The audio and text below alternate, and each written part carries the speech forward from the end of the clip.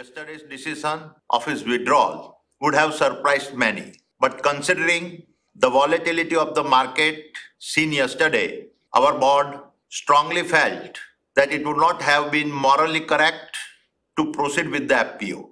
In my humble journey of over four decades as an entrepreneur, I have been blessed to receive overwhelming support from all stakeholders and particularly the investor community.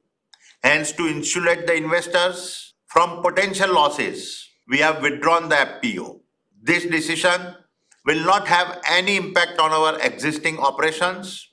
We will continue to focus on timely executions and delivery of projects. We will continue to focus on a long-term value creation and growth.